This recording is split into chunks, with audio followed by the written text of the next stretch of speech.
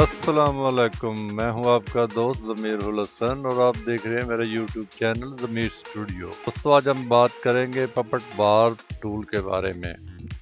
Video शुरू करने से पहले आपसे गुजारिश है कि मेरे चैनल को सब्सक्राइब करें, लाइक और शेयर भी कर दें। तो फोटोशॉप में जितने भी टूल दिए गए हैं, उनका बुनियादी मकसद है फ़ोटो एडिटिंग में कुरेक्शन करना।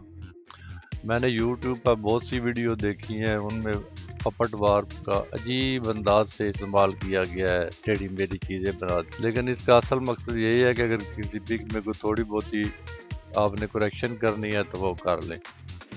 तो चलिए आइए देखते हैं पपट वार क्या चीज़ होती है। ये मैंने एक तस्वीर ओपन की हुई है, जिस पर हम काम करते हैं। दोस्तों, एक बात सबसे पहले बता दूँ कि आप किसी भी पिक पर काम करेंगे तो उसका बैकग्राउंड से अलग होना ज़रूरी है। ये पिक मैंने बैकग्राउंड से अलग की हुई है। देख रहे हैं आप, एडिट में जाएँ और यहाँ से ये पपट वार सेलेक्ट कर लें। दोस्तों, जो ही आप ये सेलेक्ट करेंगे तो आपके कर्सर की शक्ल इस तरह हो जाए आप फ़र्ज़ करें, मुझे ये खाली इसका ये जो हाथ है आगा, इसको टेढ़ा करना है या सीधा करना है, जिस तरह भी इसको एडजस्ट करना है। तो मैं क्या करूँगा? एक पिन यहाँ पे लगाऊँगा और एक पिन यहाँ पे लगाऊँगा। अब देखिए, ये नीचे वाला हिस्सा भी हरकत करेगा। ये देख रहे हैं आप।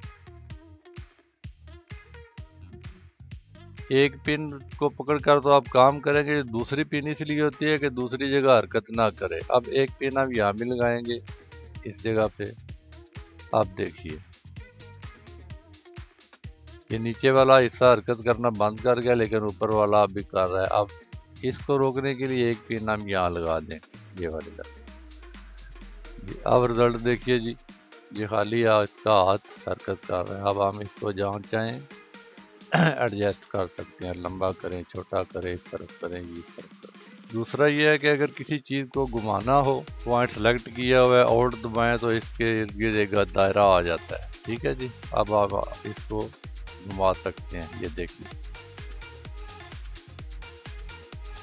ओके, हो गया जी। अगर आपने कोई पॉइंट ख़त्म करना है तो उसको सेलेक्ट करके डिलीट का बटन भी दबा सकते हैं, या और दबा कर क्लिक करें तो ये ख़त्म हो जाए। ओके, हो गया जी। यहाँ पर क्लिक करें और ओके कर दें। दोस्तों, हमने फ़र्ज़ करो इसका सर थोड़ा सा आगे करना है या पीछे करना है। तो हम किस तरह करेंगे? यहाँ से एडिट में जाएँगे। एडिट में जाके पॉपट बार सेलेक्ट करें और हम एक यहाँ पर लगाएँगे। एक निशान यहाँ पर लगाएँगे और एक ये निशान यहाँ पर लगाएँगे और एक यहाँ पर भी लगा दें। अब देखिए जी। ठीक है जी, अगर बाजू को रोकना है तो इसको भी यहाँ पर लगा दें। ये देख रहे हैं।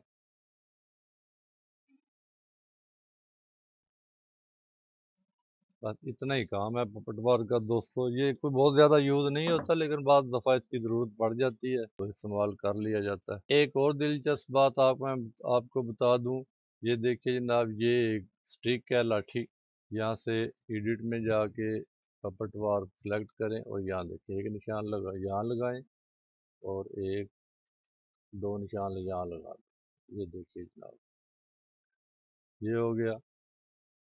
आप एक निशान लग यहाँ पे लगा दें और इसको ऐसे कर दें। ठीक है जी? अब अगर चाहते हैं कि ये वाला हिस्सा जो है इसके नीचे चला जाए तो ये सिलेक्ट है, यहाँ से इसको नीचे कर दें, ये नीचे चला जाएगा, ये ऊपर आ जाएगा। तो उम्मीद है आपको इस टूल की समझ आ गई होगी। मेरी वीडियो पसंद आए तो इसको लाइक और शेयर करें और प्लीज़ मेरे चैनल को सब्सक्राइब भी कर दें। अगली वीडियो में मिलते हैं। अल्लाह हाफि